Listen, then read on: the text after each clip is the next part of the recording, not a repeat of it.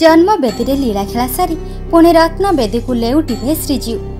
ଏହି ଅବସରରେ ଗତକାଲି ଶ୍ରୀଜୀଉଙ୍କ ସୁନାବେଶ ଅନୁଷ୍ଠିତ ହୋଇଯାଇଛି। ମହଣ ମହଣ ସୁନାରେ ସଜେଇ ହୋଇ ଭକ୍ତଙ୍କୁ ଦର୍ଶନ ଦେଇଛନ୍ତି ଶ୍ରୀଜୀଉ। ଶ୍ରୀବିଗ୍ରହ ଏବେ ନୀଳାଦ୍ରି ବିଜୟ ଅପେକ୍ଷାରେ। ତେବେ ଏହି ନୀଳାଦ୍ରି ବିଜେ ପୂର୍ବରୁ ଶ୍ରୀଜୀଉଙ୍କ ଆଉ ଏକ ଗୁରୁତ୍ୱପୂର୍ଣ୍ଣ ନୀତି ରହିଛି ତାହା ହେଲା ଅଧରପଣା ନୀତି। ଅଧରପଣା ପାଇଁ କୁମ୍ଭକରମାନେ ସ୍ୱତନ୍ତ୍ର ହାଣ୍ଡି ପ୍ରସ୍ତୁତ କରିଥାନ୍ତି। ଯେଉଁ ହାଣ୍ଡି ସ୍ୱତନ୍ତ୍ର ଭାବେ ପ୍ରସ୍ତୁତ କରାଯାଇଥାଏ ଏହି ହାଣ୍ଡିରେ କ୍ଷୀର କଦଳୀ ଛେନା ଗୋଲମରିଚ ଜାଇଫଳ ଓ କର୍ପୂର ଆଦି ମିଶ୍ରିତ ପଣାକୁ ପଞ୍ଚ ଉପଚାରରେ ପୂଜା କରାଯାଇଥାଏ। ବିଶ୍ୱାସ କରାଯାଏ ଅଶରୀରୀମାନଙ୍କ ଉଦ୍ଧାର ପାଇଁ ରଥ ଉପରେ ଅଧରପଣା ହାଣ୍ଡି ଭଙ୍ଗା ଯାଇଥାଏ ସୁନାବେଶ ପରଦିନ ରଥ ଉପରେ ଠାକୁରମାନଙ୍କ ମଧ୍ୟାହ୍ନ ଧୂପ ଶେଷ ହେବା ପରେ ଅଧରପଣା ପ୍ରସ୍ତୁତି ଓ ନୀତି ଆରମ୍ଭ ହୋଇଥାଏ।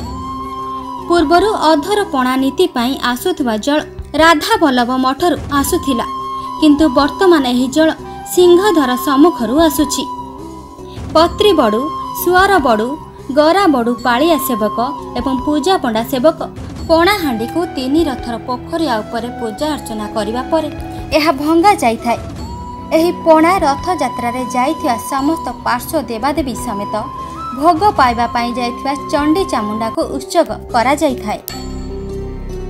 ଲୋକବିଶ୍ୱାସ ଅନୁସାରେ ଶ୍ରୀଜୀଉ ଶ୍ରୀମନ୍ଦିର ଯିବା ପୂର୍ବରୁ ଅନେକ ଅଶରୀରୀ ଚଣ୍ଡୀ ଚାମୁଣ୍ଡା ଓ ଦେବାଦେବୀ ଅପେକ୍ଷା କରି ରହିଥାନ୍ତି। ମହାପ୍ରଭୁ ତାଙ୍କୁ କିଛି ଦେଇକି ଯିବେ।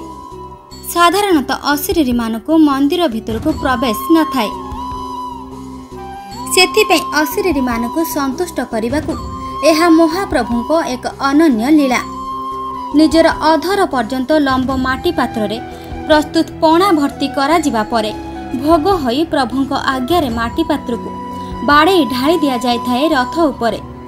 ପରେ ତଳେ ପଡ଼ିଥିବା ପଣାକୁ ପିଇ ଅଶରୀରୀମାନେ ତୃଷ୍ଣ ନିବାରଣ କରିଥାନ୍ତି।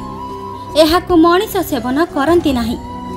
ତେବେ ଗବେଷକଙ୍କ କହିବା କଥା ଏହି ନୀତି ପାଖାପାଖି ଚାରିଶହ ପଚାଶ ବର୍ଷ ତଳର। ବ୍ୟୁରୋ ରିପୋର୍ଟ ଏଟିଆ ନ୍ୟୁଜ୍।